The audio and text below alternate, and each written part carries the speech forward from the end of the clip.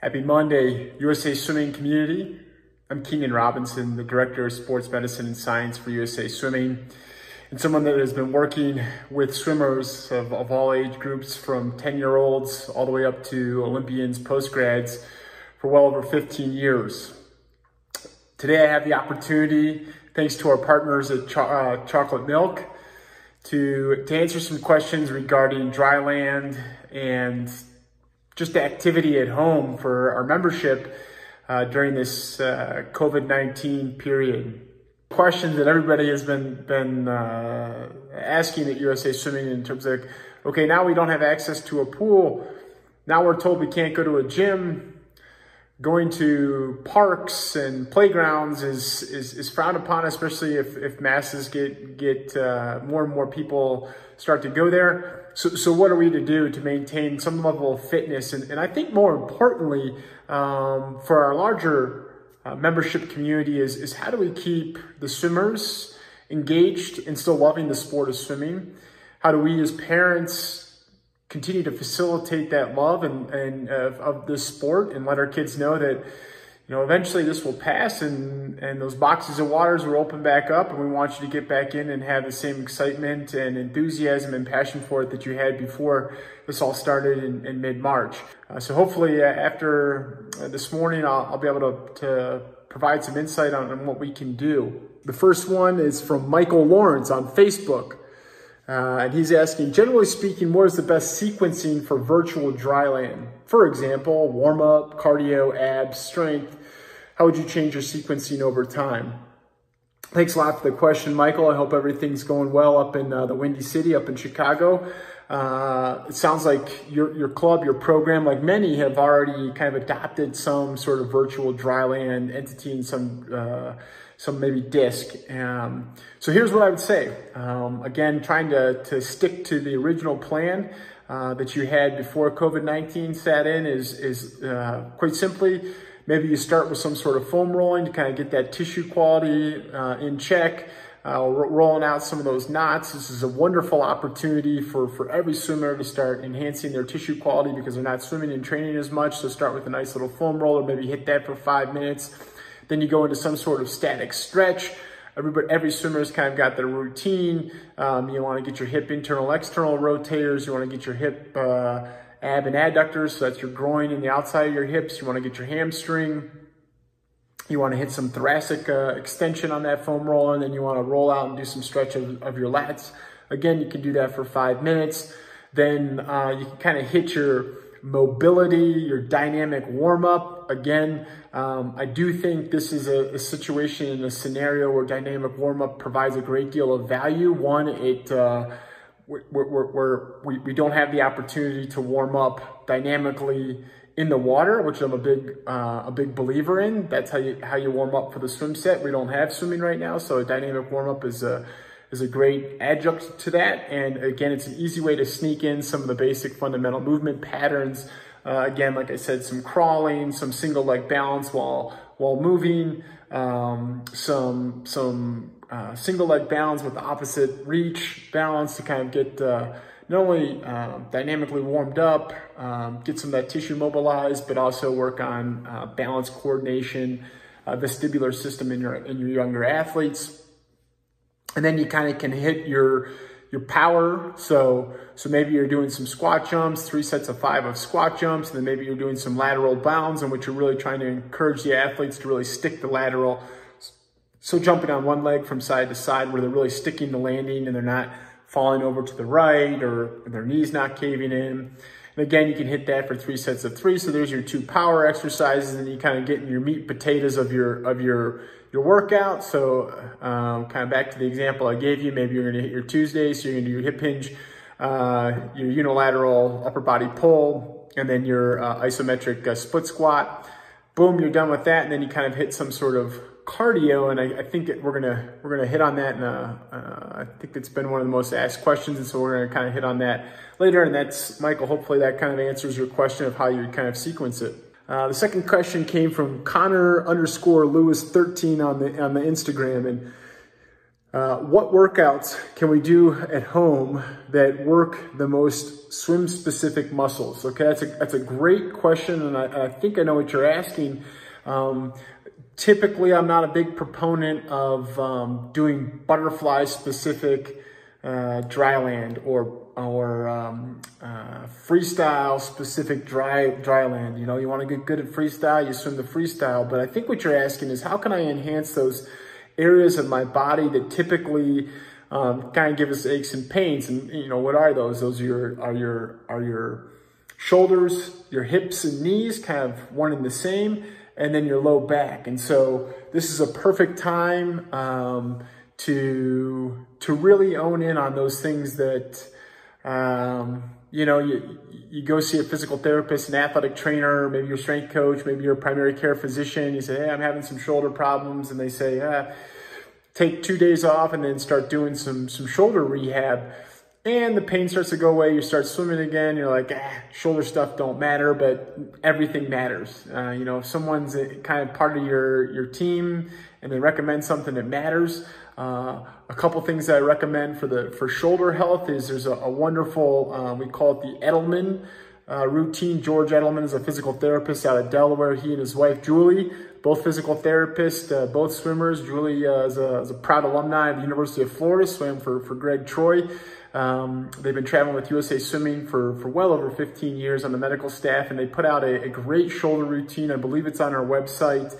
Um, and I know for a fact if you Google the uh, Edelman shoulder, swimming shoulder protocol, great exercises. I would totally recommend and encourage you to do that. Uh, and the second series of, of shoulder exercises uh, comes out of the University of Kentucky. Um, Dr. Dr. Kibler and Dr. Uhl have an eccentric protocol um, for the four rotator cuff tendons uh, of the shoulder. Um, I believe on YouTube those are posted. If not, um, we'll try and get some videos up on on, on, on Instagram or, or, something on our webpage to get, because uh, we've, we've definitely had some of our national team athletes uh, recommended to do those. Uh, when we drop down to, to the hip and the knee, um, the, the first and foremost uh, kind of hip and, and knee uh, swimming specific or, or at least um, tissue movement movement pattern uh, exercise routine that I could recommend would be the Copenhagen hip routine. Um, that I know is, uh, um, you just Google the Copenhagen hip routine and there's a great, I think it's actually now a YouTube channel uh, teaching you kind of go through each one of the different exercises. Uh, highly recommend uh, any swimmer of any age start doing that. It's gonna uh, really increase your, your, your, your hip strength, your hip stability, your hip uh, range of motion, and that's just gonna make your knees um, be in the clear from, from, from knee pain. And then from a low back perspective, um, I would say that uh, uh I would highly recommend everybody Googling uh, Stuart McGill's uh, four back exercises. It's a, it's a, it's a side plank, it's a bird dog, uh, it's a particular way that he likes to teach the crunch, and it's just going to really increase uh, back health. Um, so those are three ways, uh, Connor underscore Lewis 13. They're maybe not swim specific, but they are swim health specific that I would totally recommend you guys doing. The third question is from Camille Gibson on Instagram. Is running a good substitute for cardio aspect of swimming? Uh, yes and no. Um, so Absolutely. Anything that gets your heart rate up for a sustained period of time is cardiovascular work. And so running does do that. Running and jogging does that. So uh, in lieu of no gyms um, and no pools, running seems like a very, very logical option. Um, I'm very, uh, I want to kind of put a disclaimer out to, to, to swimmers out there that if you haven't been previously running before this, take it very, very slow. Um, I'm actually kind of advocating for, for riding your bicycle uh, around the, the neighborhood, around parks as my, would be my top priority. In the absence of swimming, um, that would be my cardiovascular choice of, of exercise. Um, I think running and rowing require um, require you to be able to to proficiently do that. Now that being said, is perhaps you haven't been running in a long time um, and, and, you need some way to kind of get your heart rate up. Uh, maybe you kind of can, can, can break down uh, running into kind of a, a, a five day split in which you're not going out for a two, three, four, five mile run for the first time in, in three years and run the risk of having shin splints, um, hip dysplasia, have some sort of tendinopathy. That then once the pool's open, you're going to be limited from the activity there. And so maybe Monday you start working on running technique or running mechanics. And so you may go 10 meters in which you're, you're really working on keeping your torso really tall as you're sprinting, jogging, running through for 10 meters. And then maybe you go another 10 meters in which you're doing some elbow drive in which you're really driving your elbows back and getting them connected um, with your lower legs. And then you finally finish up with a 10 meter high knee drive where you're really working on sprinting. You bring your knees up past 90, pointing your toes front, front ahead. This is also a wonderful time that you can work on some of your A skips. Um, you can YouTube that. I'm sure Charlie Francis has videos out there of of, uh, of doing A skips and then maybe going to a half kneeling position and working on arm swings so that we understand it's, it's, it's crazy that, uh, you know, swimming is a, is a bipedal. So you're using both your arms and your legs at the same time to swim. But then when you get them on land, like the, the arms don't move and, and they move inside to side. So you're kind of a windmill instead of a piston, which is, you know, what you want to be for running. Um, so Monday can be your technique day. So you're not going to really get uh, that long sustained aerobic development, but you're going to keep yourself safe because you're working on the on the technique. And then Tuesday, maybe you go into some sprints and and um, looking at something like perhaps uh, again, you know, 10, uh, 40 to 60 meter dash with, uh, and then you kind of walk or jog another 60 meters and start again.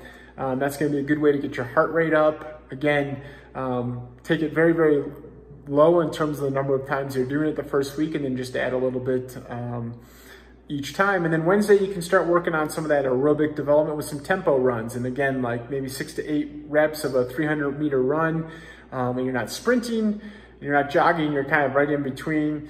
And you kind of do those on two minute intervals. And then you go six to eight reps on uh, 200 meters, uh, uh, six to eight reps of a 200 meter run, again on two minutes and then eight reps of 150 meter runs on 90 seconds. Um, so those are just a good way to kind of get some of that aerobic development, but we're keeping the load and the volume down substantially here, kind of week one, week two, and then systematically kind of build back up to it. Thursday, you regroup and do your technique work again on Thursday. And then Friday, you can finish off with some tempo runs again to get some nice cardiovascular activity.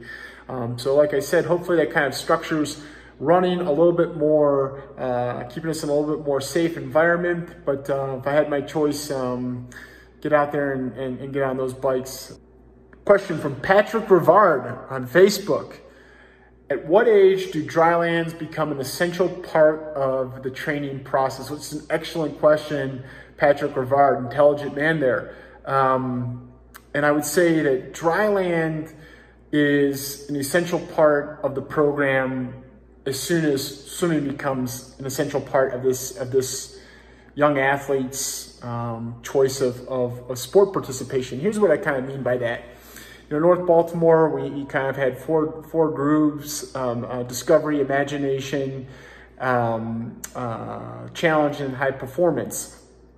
And, and, so the discovery and imagination are the little kids, the 10 year olds, kind of up to 14 year olds. And so let's say that they were practicing six days a week, uh, for an hour at a time when they first started off? Well, we would do some sort of, again, kind of basic, what would look like physical education routines for 10 minutes twice a week. You don't need to do any more than that. One of the big things that I champion coaches and programs when they're starting to look at and audit their, their dryland, their strength and conditioning program is look at how much they're swimming and at the most elite level, right? So most programs like North Baltimore would go an hour and 45 minutes worth of swimming. Sometimes we get two hours very rarely. We wouldn't do two hours of, of, of dry land. It wouldn't be one-to-one ratio. We'd go, well, I, I know on average it'd be 45 to 48 minutes would be our dry land session. And so just kind of doing those types of, um, you know, kind of ratios and how much we would do during the week. We would go five days a week for, for our senior high level group. Um, we'd go three to four times a week for the group below that. We'd go two to three times a, week for the group below that, and then uh, one to two two days a week for the group um, for our starting group. But again, we, we reduce the time and the frequency and how they're doing it And again, the purpose should always parallel the why we're doing it. The why should always kind of parallel the why of what we're doing in the water, right? So when they were first starting to swim, you know, Tom's, Tom Himes was teaching them one, hey, how to line up behind the starting block and then how to get into the lane and learn how to swim five or 10 second back. Well, in dry land, we wanna learn how to get them into, uh, you know, single file lines, make sure that they understand personal space, um, and, and how to move um, without bumping into other people. Then they were teaching them the four strokes. So again, we want to teach them the, the, the basic, uh, what we call physical literacy. So the, the vernacular that I'll use from the time they're 10 all the way up to their 18. Well, we had kids past 18 that would come back and train with us. So when they would come in and, and I would say, um, all right, we're gonna go rear foot elevated split squats, like they understood, okay, rear foot, where, where's the rear foot? Uh, it's elevated, what does that mean? And a split squat, what does that mean? So, you know, with the little kids, we gotta teach them like front, back, side to side, uh, rear, diagonal, all the different uh, movement patterns and, and planes. Um, and that's, and that kind of creates your, your, um, um, the, way you're, you're gonna speak all the way throughout. So, uh, kind of a long-winded uh, way of answering when it becomes an essential part of the process. You know, once swimming becomes essential, I think dryland is, is essential as well. Fifth question comes from Shavas underscore 1907 underscore, I'm gonna, I'm gonna butcher this, Yerlogren on Instagram. What is your favorite bodyweight workout for swimming strength and endurance?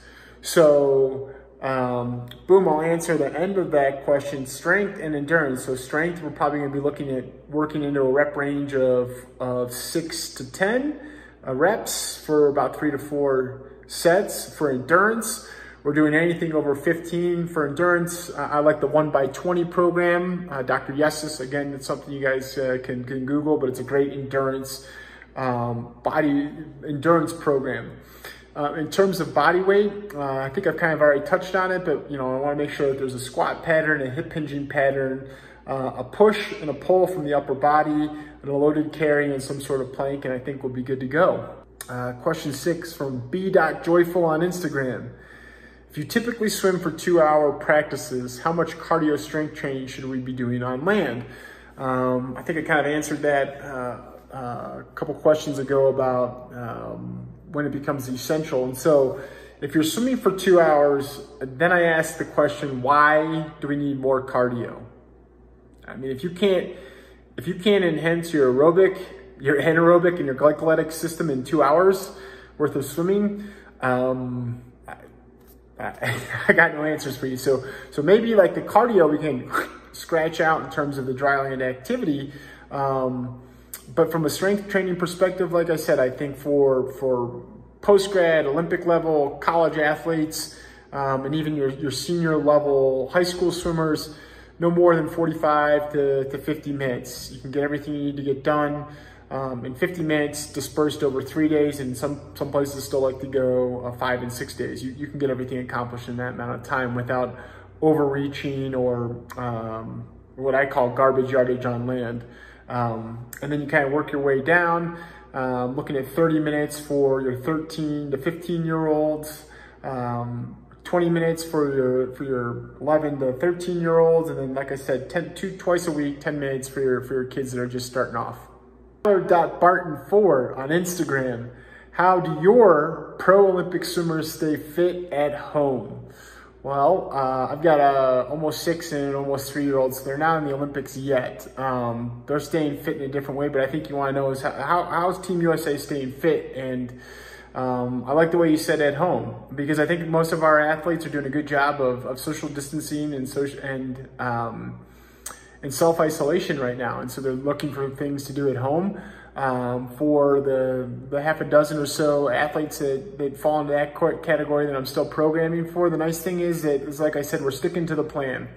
And so uh, my typical weekly cycle, it's big squat Monday or Tuesday, depending if they're on a Tuesday, Thursday, or Monday, Wednesday, Friday split, but it's big squat Tuesday. So we're still doing some sort of uh, squat pattern on uh, the first first lift of the week. And some of them still have access to a weight room because they, they purchased weight equipment back in January and built it in their garage. some have purchased it, were quick to, to purchase on Amazon, and whether it's just a 45 pound uh, kettlebell or even uh, kind of the resistant resistance bands. And so given what they have, then, then I'll modify uh, intensity, uh, so, so what they're loading up, frequency, so how often they're doing it, or density, so the work to rest ratio, just to facilitate that pattern.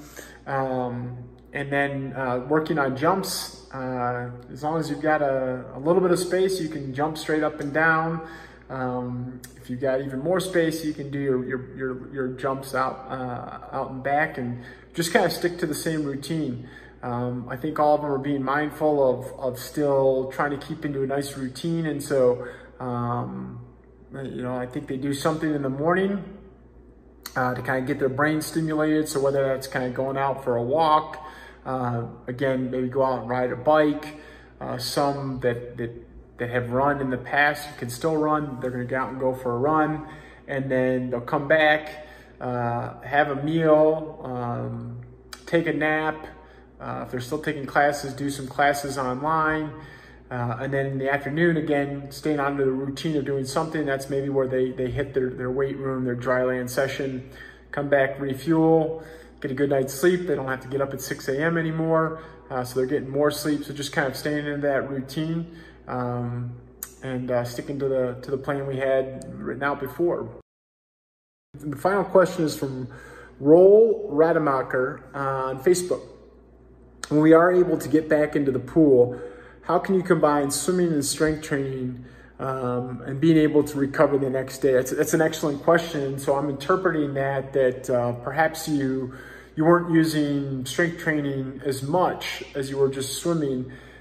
Now you've incorporated strength training because you can't swim. Now how do we merge the two of them together so that you're able to recover for the next day? Um, you know, my, my first, that's a great question. Um, I think it, it kind of parallels a question that I get often is, you know, should you lift before you swim or should you, or vice versa. So I think if you're just starting out, you're gonna wanna do all your strength training dry land after uh, your swim practice, right? You're, you're, you're on the swim team to be a really good swimmer, not to be, not to be a really, really good deadlifter. You'll join the powerlifting team if you wanna do that.